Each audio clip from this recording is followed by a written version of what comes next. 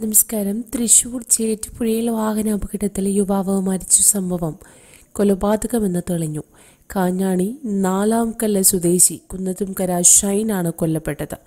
മദ്യപിച്ചുണ്ടായ തർക്കത്തെ തുടർന്ന് സഹോദരനും സുഹൃത്തും ചേർന്ന് കൊലപ്പെടുത്തുകയായിരുന്നു എന്നതാണ് ഇപ്പോൾ പുറത്തുവരുന്ന വിവരം.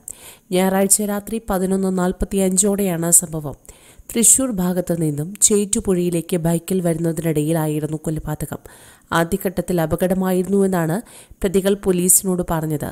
ബൈക്കിൽ സഞ്ചരിക്കവേ ഷൈൻ പുറകിലേക്ക് വീഴുകയായിരുന്നു എന്നാണ് പോലീസിന് നൽകിയ മൊഴി. എന്നാൽ പോലീസ് ഈ മൊഴി മുഖവിലയ്ക്ക് എടുത്തിരുന്നില്ല.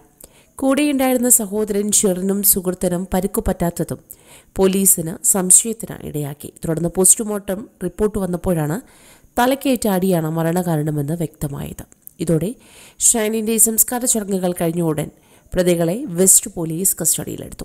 തുടർന്ന് നടത്തിയ ചോദ്യം ചെയ്യലിലാണ് മദ്യപിച്ചുണ്ടായ തർക്കത്തെ തുടർന്ന് ഹെൽമറ്റ് കൊണ്ട് തലക്കടിച്ചാണ് കൊലപ്പെടുത്തിയതെന്ന് പ്രതികൾ സമ്മതിച്ചത്. അറസ്റ്റ് രേഖപ്പെടുത്തിയ ഷെറിനെയും സുഹൃത്ത് അരുണിനെയും സംഭവ സ്ഥലത്തെത്തിച്ച് തെളിവെടുപ്പ് നടത്തി.